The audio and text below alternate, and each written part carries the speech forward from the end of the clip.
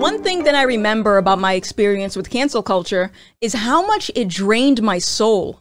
Now, that sounds like a pretty extreme analogy, but it's true. Cancel culture left me feeling empty inside. So I started to wonder, how could cancel culture advocates justify the practice, knowing that it creates more problems as opposed to making a positive impact on society? But then again, maybe they don't know. And yes, this is also considering the one off cases like Harvey Weinstein that I know many cancel culture advocates might use to defend the practice. But I'm an absolutist when it comes to anti cancel culture, in the same sense that I'm an absolutist when it comes to the First Amendment. I would rather people have the freedom to call me all kinds of nasty names, racist or not, up until threats of violence. Because I understand that censorship is a slippery slope towards government tyranny. And in terms of cancel culture, I believe that serious cases involving actual crimes should be handled through the courts because I understand that social justice can sometimes lead to false accusations and unfair treatment. I don't think a handful of warranted cancellations can justify cancel culture as a whole, especially when there isn't any set guidelines for canceling someone in the first place. And this is where a lot of people get boycotting and cancel culture confused. A boycott involves withdrawing your support from a person or entity, while cancel culture, on the other hand, might involve that plus other things like uh, bullying someone for an indefinite amount of time, contacting their place of employment, or publishing their personal information online for people to find. And because cancel culture doesn't have any set rules, it becomes the perfect cover for bad behavior because, well, there isn't anyone to hold the cancelers accountable, and why would they? Bullying isn't bullying if you're doing it for social justice, right? Wrong. so let's talk about it. For a practice that doesn't have any set guidelines, rules, or leadership, what does accountability look like to the mob, and at what point is the cancellation considered successful? The truth is, nobody knows, because you'll get a different answer depending on who you ask, and that's the problem. Who are these people, and why do they seem to believe that they have authority over you? And to make it even more complicated, how do you satisfy a mob when there's multiple people assuming the role of an authority figure? Coming from someone who's been canceled multiple times for having various opinions, I can confidently say that if it were left up to the mob, my cancel culture punishment would have lasted indefinitely because I'm not going to apologize for having an opinion. And when the mob doesn't get its way, it tends to embolden their behavior, which is why in my case, the harassment lasted for months. Admittedly, this experience put me in a deep state of depression, which is a common symptom that cancel culture victims report having. Like the recent situation revolving Chrissy Teigen after she received backlash for bullying people online.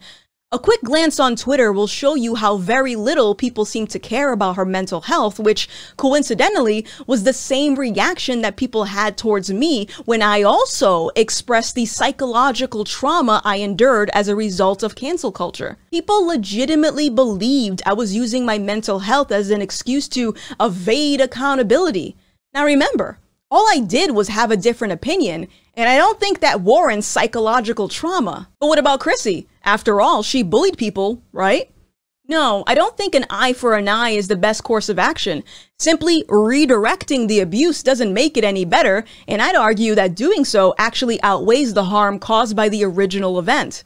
To put it simply, the solution can't be worse than the problem, and because cancel culture doesn't have any rules, it usually does become worse than the problem. And that's a reality that cancel culture advocates refuse to acknowledge.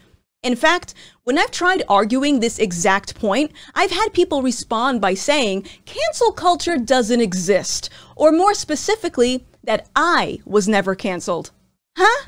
Okay, now, obviously, that's a lie because I lost sponsorships and underwent a lot of therapy as a result. So, what exactly is the mob looking for in order to consider someone canceled? Again, without having any set guidelines for cancel culture, it's kind of hard to get an answer to this question. So, I can only speculate based on some of the comments that were directed at me. And just like Chrissy, the mob's focus always seems to be on material possessions. I once had someone tell me that because I owned expensive equipment, acquired new sponsorships, and have a large YouTube following, I was never canceled. But when you break all of those reasons down, the core message is that the mob believes I shouldn't have anything. I shouldn't own this microphone or this lighting that I saved up for in order to run my business as a content creator, or that I shouldn't be allowed to have sponsorships in order to pay my rent, or that I should just be ostracized from society and left without any support. Does that sound humane? And if it doesn't, does that sound like appropriate punishment for having an unpopular opinion? And what about Chrissy? I mean, she bullied teenagers online, so clearly she deserves it, right? Nope, I don't think she does. Will the mental abuse caused by her cancellation force her to change her behavior? Maybe. Will it undo the harm she caused from bullying? Not at all. But even if it did, I don't think the obsession with cancel culture is healthy for any of the parties involved. Because here's the other thing that happens, and often without the canceler realizing it it's that cancel culture starts to deplete you of empathy. Think about it. It becomes a mind game where your brain will try to justify bullying or targeted harassment because you've convinced yourself that what you're doing is for a good cause. It's very similar to how looters justified stealing from department stores after the George Floyd incident. That's not justice or protesting, that's theft. The second you find yourself justifying bad behavior, that's how you know your common sense has been compromised. And once you start excusing the mental abuse of another person, it's a sign that you're starting to lack empathy. Because what that means is depression, anxiety, or thoughts of suicide are only valid depending on your personal bias towards that individual. I don't think mental health is something that should be gatekept because let's say for the sake of this argument that Chrissy is faking her depression and anxiety just so the mob will leave her alone. Okay, so what? What's the big deal? Because realistically, I think the possible consequences of not taking her mental health seriously outweigh the consequences of her just faking it. And we've seen this play out with other case studies like Caroline Flack, Alec Holowka, or Mike Adams, to name a few, who all committed suicide shortly after the mob came for them.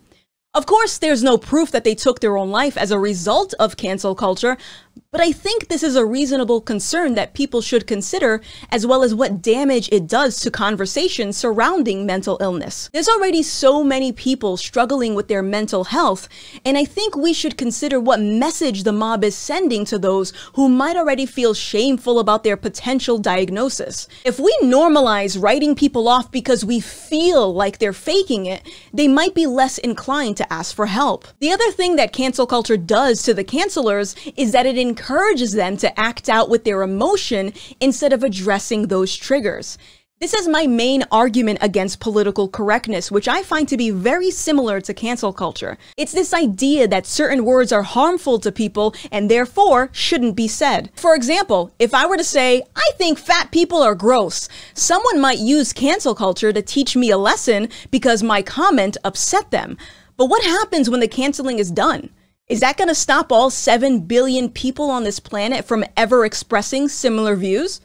No, because that isn't realistic. I understand that the world is a diverse place with different opinions and beliefs that don't align with my own. So my options are to either freak out and seek accountability for those that make me feel bad, or accept the reality that mean people aren't going anywhere. This then forces me to work on my emotional discipline, so I'm only giving my attention to situations that are actually meaningful. Unfortunately, cancel culture enables emotional immaturity by essentially giving people a cheat code to solve their problems. What's the point of working on your own inner peace if you know you can lean on the mob to temporarily make you feel better until someone does it again? But there's one more thing that happens when these situations play out. What about the people watching? Those that don't get involved but witness the mob in action. What happens to them? Well, again, based on my own experience, some of them feel an overwhelming amount of guilt because they didn't oppose the mob or come to my defense, which isn't something anyone should feel guilty for because no one's obligated to be a hero. But the most insidious consequence is the fear that the mob places on its bystanders. It signals to them that if you step out of line and say the wrong thing, you will succumb to the same type of treatment. This in turn causes many people to self censor out of fear of being canceled themselves. This slowly trains society into believing that only certain ideas are welcome. This means that little by little, it chips away at people's right to just be themselves. Just look at this recent tweet that I responded to where a mob went after someone's job for applauding a recent lightning strike that hit a George Floyd mural. Say what you want about the guy, but applauding a lightning strike isn't against the law. According to the mob, however, it's enough to get you fired. Now think about that for a second. What that means is this person doesn't have the choice to oppose that mural. And I've seen similar things happen to those who opposed Black Lives Matter or didn't vote in the way that the mob wanted them to vote. These are all examples that only scratch the surface of how cancel culture can be weaponized to control the masses. It's one of those things where many fail to recognize its dangers because the act of canceling someone rewards them with instant gratification. They feel like canceling is a good thing because it simulates some form of punishment. So they're not thinking about the long term effects it can have on the individual or society as a whole. So, what's the solution? If we know that canceling someone causes mental harm to the victim, the canceller, and those that are watching, what do we do? Well, I don't have all the answers, but I do have some suggestions. Before you cancel someone, ask yourself, will canceling this person actually solve the problem? This isn't to be confused with making you feel better. Will the act of canceling right their wrongs? If the answer is yes, ask yourself if you'd welcome thousands of angry strangers wielding pitchforks at your front door, because that's what the mob feels like. But maybe you answered no and the abuse isn't okay. So, what are your options? Well, I think it's reasonable enough to block someone online if you don't want to see an opinion that you don't like. I realize that this isn't what people want to hear because harmful rhetoric shouldn't exist, but unfortunately, it does, and that's a part of life. You could also withdraw your support from the person if you choose. And no, you don't need to announce it to the world. If you're boycotting someone or something, why do you need to share it with everyone, essentially signaling to the mob? Do you want to boycott? Or do you want the attention? I also think it's reasonable to allow the courts to handle serious cases instead of taking matters into your own hands. Yeah, it's not perfect, and yeah, sometimes bad people do get away, but I don't think the alternative of risking false accusations is a better option. Sometimes the best thing to do is to do nothing at all and realize that there are no true solutions in life, only trade offs. It's a hard pill to swallow. But hey, that's gonna be it for me, so let me know in the comments what you think about this video. Have you been canceled before? And how did it make you feel? And if you have a suggestion for a future video, let me know in the comments. If you enjoyed this video, go ahead and hit that like and subscribe button for more. My name is Gothix, this is Right Now, and I'll see you in the next one. Bye!